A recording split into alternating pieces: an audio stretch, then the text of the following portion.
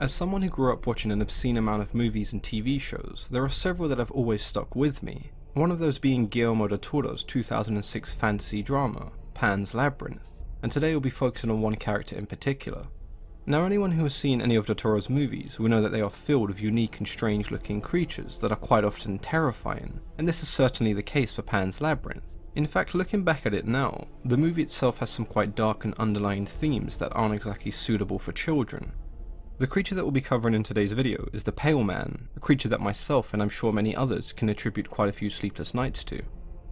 The Pale Man is an ancient child-devouring demon-like creature that our protagonist Ophelia encounters during her quest. She's sent to retrieve a dagger from the Pale Man's lair, but before she embarks on her journey she is warned by the faun and fairies assisting her that the monster she will encounter devours children.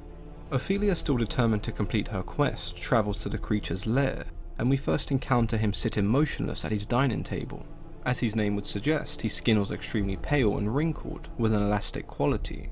He appeared as a rather grotesque humanoid monster, with long black claws, two nostrils where you'd expect his nose to be, and no sockets for his eyes, as they would instead be placed into the palm of his hand.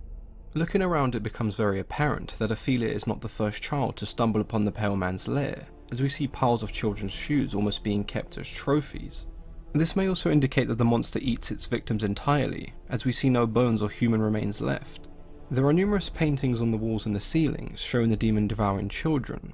These children are very clearly pleading and begging for mercy, which shows us the Pale Man may have no trace of humanity left. We don't actually know a great deal about the Pale Man's abilities and powers, but he does appear to be extremely old, being able to enter a deep slumber for hundreds of years if not more, until he is awoken by his next victim. We can then assume that along with his great strength, he may also possess immortality. There are a couple of things that allude to the Pale Man being capable of magic or sorcery. Despite being in a deep slumber, the food on his table appears to show no sign of rot and decay. Now this could be some kind of spell or enchantment designed to trick the children and enter his lair. If we take a look at his lair itself, there is no entrance or exit, so he must have some way of luring children into his lair in the first place. Not wanting to stick around much longer, Ophelia lets out her fairy companions who assist her in finding the dagger. But as Ophelia is about to leave, she falls victim to the temptation of the banquet before her. Despite being adamantly warned by the fairies, she ignores them, picking up and eating a grape. This appeared to immediately break the Pale Man's slumber, as we see him place an eye in each one of his palms in quite a disturbing and terrifying scene. Ophelia, still occupied by the food, fails to notice that the Pale Man has awoken, and when she eventually does, the fairies attempt to distract him, with two of them being mercilessly devoured.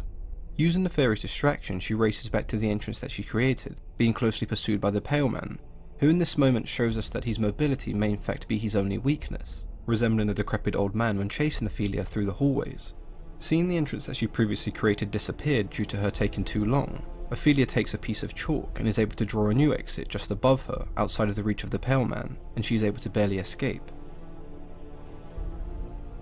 When he was asked about the influences of the Pale Man, Del Toro does mention the painting by Francisco Goya of Saturn or Cronus devouring his own children to be quite an inspiration.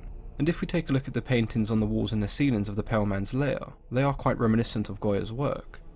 The Pale Man's mythological influences do stretch beyond Greek and Roman myth, all the way to Japan, and the yokai known as the Tenome, an elderly looking man with no face and an eyeball in each palm, the Tenome's diet is also quite similar to the Pale Man, consisting of human bones fresh from the body.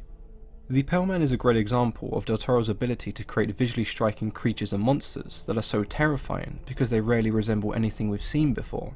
If you've never seen Pan's Labyrinth before, then I highly recommend that you do. And if you have any thoughts on the Pale Man or Pan's Labyrinth in general, then feel free to share them with me in the comments below. As always, I've been your host, Mythology and Fiction Explained.